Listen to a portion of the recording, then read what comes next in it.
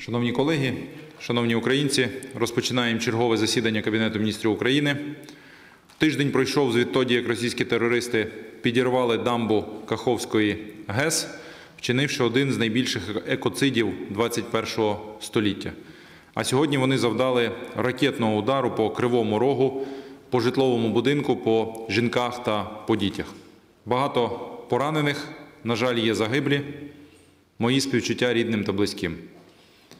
Щодо наслідків теракту на Каховський ГЕС, спостерігається зниження рівня води у Дніпрі, проте підтопленими залишаються 30 населених пунктів у Херсонській області та 31 населений пункт у Миколаївській. Вже евакуйовано понад 3700 осіб. Глибока подяка рятувальникам, медикам, поліцейським та волонтерам, які самовіддано та часто під російськими снарядами допомагають людям.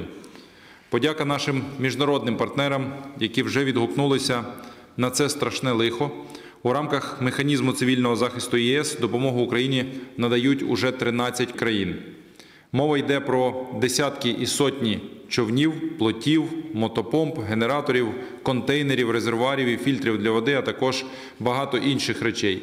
Вдячні США, Великій Британії, Японії, Канаді та іншим країнам-партнерам за уже надану допомогу.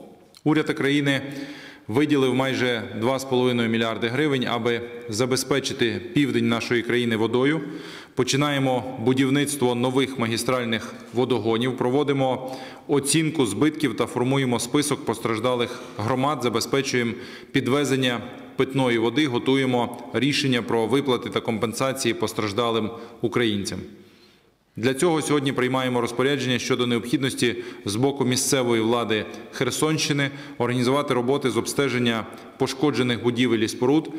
Мають працювати спеціальні комісії та достатньо людей, щоб швидко обстежити руйнування, а також мають бути проведені розрахунки щодо відповідних обсягів компенсацій, аби відновити житло людей. Працюємо також над створенням архітектури відновлення. В уряді створено посаду віце-прем'єр-міністра з питань відновлення, утворено відповідне міністерство та державне агентство. У бюджеті сформували спеціальний фонд подолання наслідків агресії. Розуміємо, що програма відновлення є пріоритетом для держави і для всіх нас. Тому сьогодні уряд ухвалює рішення про продовження цієї роботи, і ми створюємо у восьми міністерствах та 12 регіонах посади заступників із відновлення. Наявність такої посади дасть змогу якісно підійти до планування проєктів і програм відбудови, а також формує додаткову відповідальність, прозорість і підзвітність для відбудови України. Один із п'яти пріоритетів відновлення, які ми визначили, це відновлення нашої економіки. За попередніми оцінками, у першому кварталі цього року ВВП виріс на 2,4% порівняно з попереднім кварталом.